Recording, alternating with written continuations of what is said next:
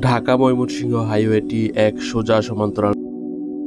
স্থানীয় একজন মানুষ বাঘমার্গায় নির্বাচন করেছিলেন ইউনিয়ন পরিষদে। সেই থেকে এলাকাটির নাম হয়ে যায় বাঘের বাজার। গাজীপুরের সদর উপজেলার উত্তর প্রান্ত বানিয়ারচালা এবং সিঁড়িরচালা এই দুটি গ্রামের সমন্বয়ে এই অঞ্চলটি প্রতিষ্ঠিত। চারপাশে শিল্প কারখানা গড়ে উঠছে। মূলত দু হাজার সালের পর থেকে এই অঞ্চলে শিল্পায়ন শুরু হয়। তারও আগে থেকে জমি কেনার প্রক্রিয়াটা শুরু হয়েছিল। এখানকার যারা স্থায়ী বাসিন্দা,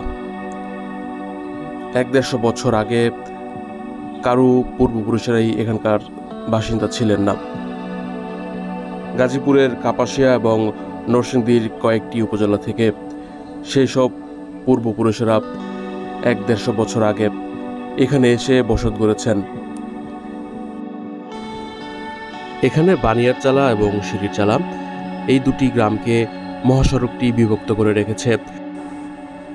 রাস্তার পূর্ব পাশে যারা বাসিন্দা তাদের অধিকাংশ এসেছে কাপাসিয়া থেকে এবং পশ্চিম পাশের বাসিন্দাদের বড় অংশ নরসিংদী থেকে আসা।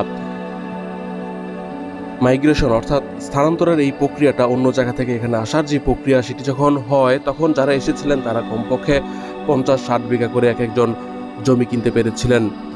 আসলে এখানকার পূর্বের বাসিন্দারা অন্যত্র চলে গিয়েছে কিংবা এটা বনাঞ্চল ছিল, চারপাশেই শালগজারের বন ছিল। এই অঞ্চলে বসবাস করত আদিবাসী সম্প্রদায়ের কোচ মান্দাই জনগোষ্ঠী। তারা অনেকেই ময়মনসিংহের বিভিন্ন অঞ্চল কিংবা ভারতেও চলে গিয়েছে এক সময় অতীতে এই জায়গাটি ভাওয়াল জমিদারির অন্তর্গত ছিল। এখানকার মৌজার নাম মাহনা ভবানীপুর মৌজা। গাজীপুর চৌরাস্তা থেকে বিশ কিলোমিটার উত্তরে এবং মাওনা চৌরাস্তা থেকে আট কিলোমিটার দক্ষিণে এই জায়গার অবস্থান। এটি একটি গুরুত্বপূর্ণ বাসস্ট্যান্ড ঢাকা ময়মনসিংহ মহাসড়কের। বাঘের বাজার বাসস্ট্যান্ড থেকে তিন কিলোমিটার পশ্চিমে বঙ্গবন্ধু শেখ মুজিব সাফারি পার্ক। রাস্তাটি বড় করার কাজ চলছে। এরপর থেকে এই অঞ্চলের দৃশ্যপট আরও বেশি বদলে যাবে। শ্রীপুর উপজেলাটি এখান থেকে কয়েক কিলোমিটার উত্তর এবং পূর্ব দিকে অবস্থিত। অর্থাৎ কয়েক কিলোমিটার পূর্বে গেল শ্রীপুর এবং উত্তরে গেলেও শ্রীপুর। গাজীপুর সদর থেকে এখান থেকে শ্রীপুর সদর অনেক বেশি কাছে, যদিও এটি গাজীপুর সদর উপজেলার অন্তর্গত। সংসদীয়ভাবে শ্রীপুর উপজেলার সাথে গাজীপুর সদরের তিনটি ইউনিয়ন যুক্ত, ভাওয়ালগড়, মির্জাপুর এবং পিরুজালি। এই ইউনিয়নের নাম ভাওয়ালগড়। এখান থেকেই সাফারি পার্কের রাস্তার কার্যক্রম শুরু হয়েছে। রাস্তাটি বড় করার প্রশস্তকরণের কাজ চলছে। সাফারি পার্কের গেট রয়েছে এখানে, বাঘের ছবি সম্বলিত। এটি পশ্চিম দিকে চলে গেছে এই রাস্তা। এখান থেকেই সাফারি পার্কের রাস্তা প্রশস্তকরণের কাজ শুরু হয়েছে।